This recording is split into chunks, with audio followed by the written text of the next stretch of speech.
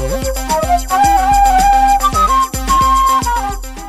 three kings of Leicester Square selling ladies' underwear. So fantastic, snow elastic. Why don't you buy a pair?